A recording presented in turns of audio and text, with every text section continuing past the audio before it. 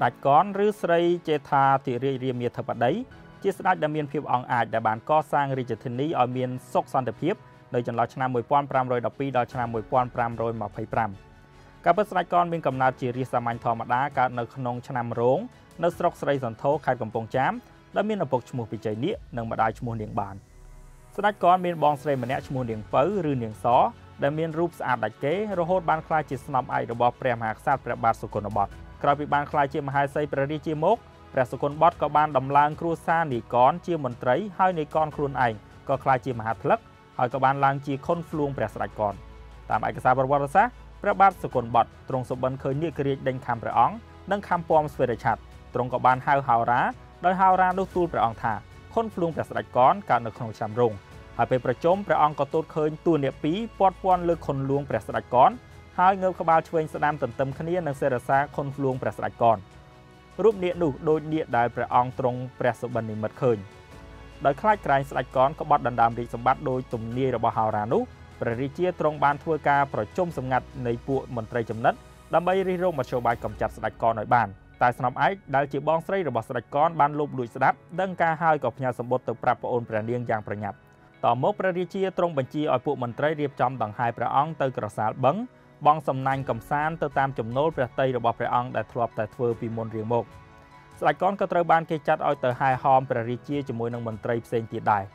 ដោយដែលបានគ្រងទុកព្រះរាជាទ្រង់ធ្វើកោតថាសំណាញ់ព្រះអង្គជាប់សម្រាប់លើកពំរួចហើយទ្រង់បញ្ជាស្ដេចកនមុជទឹកទៅដោះស្ដេចកនទទួលបញ្ជាហើយក៏លោតទៅក្នុងទឹកធ្វើហាក់ដូចជាមិនដឹងខ្លួនហើយមុជថយពីកន្លែងនោះឆ្ងាយទៅ ពេលនោះពួកបរិវារដែលជាចំណិតស្មានថាស្ដេចកនបានធ្លាក់ចូលអន្ទាក់របស់ខ្លួនហើយក៏ប្រញាប់បង់សំណាញ់ព្រមគ្នាគ្រប់កន្លែងដែលស្ដេចកនលោតចុះទៅនោះដោយមានបំណងធ្វើឲ្យស្ដេចកនជាប់សំណាញ់រើពំរួចស្លាប់នៅក្នុងទឹកនោះទៅលោកបានចាក់ផុតពីគ្រោះថ្នាក់ហើយស្ដេចកនបានភៀសខ្លួនទៅដល់ខេត្តបាភ្នំហើយបានប្រើអបាយកលបោកបញ្ឆោតពួកចៅហ្វាយខេត្តថាខ្លួនបានទទួលបញ្ជាពីព្រះរាជាឲ្យកែមទ័ពទៅកម្ចាត់មហាឧបរាជចន្ទរាជាដែលមានចិត្តចង់ឡើងសោយរាជនៅក្រុងចតុមុខ ព្រះរាជាលុះបានជ្រាបដំណឹងថាស្ដេចកននៅរស់ហើយមានកងទ័ពប្រឆាំងព្រះអង្គថែមទៀតក៏ទ្រង់បញ្ជាឪពុកនិងបងស្រីស្ដេចកនសរសេរសម្បត្តិហៅត្រឡប់មកវិញ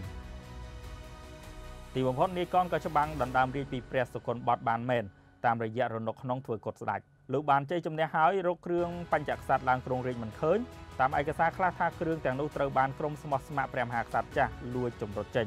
ក៏ទ្រង់ឲ្យគេចាត់ធ្វើថ្មីដែលពុំមែនជារបស់ពិននោះទេដើម្បីអភិសេកឡើងគ្រងរាជនៅរាជធានីទួលបាសានដោយប្រសិទ្ធនាមថាព្រះបាទសម្ដេចព្រះស្រីចេថាធិរាជរាមាធិបតី